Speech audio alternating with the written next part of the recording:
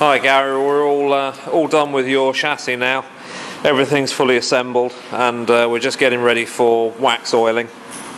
We're going to do inside the frame rails and then we'll do from these front body mounts backwards so that when you open the bonnet you see nice clean painted uh, chassis and what have you uh, but you get the protection underneath the car where you want it so we have no repeat of uh, what's happened before and then if you keep on top of the freshening up the wax oil every in every couple of years or whatever uh, that will ensure that the, uh, the, the underneath should stay in good condition.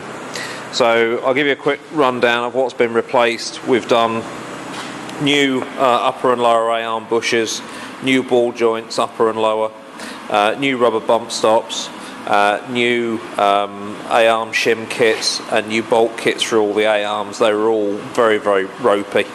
Um, we've reused your calipers. We've put a new flexi brake line on the on the passenger side and reused your original on the driver's side. So I think that had been replaced not long before.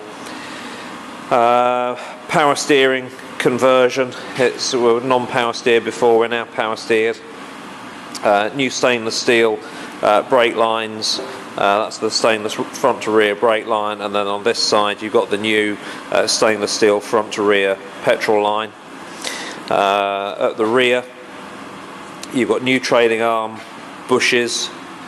Uh, I think your original trailing arms, uh, which are sandblasted and painted. New rear wheel bearing assemblies both sides with new spindles, new bearings, uh, new U joints in the drive shafts, and new U joints in the prop shaft also, and we've replaced the, the old strut rods uh, with new ones. Uh, new shock absorbers on the rear, the fronts are your original ones, uh, your original rear spring, new um, uh, rear sway bar link kits in there, and new fasteners throughout pretty much.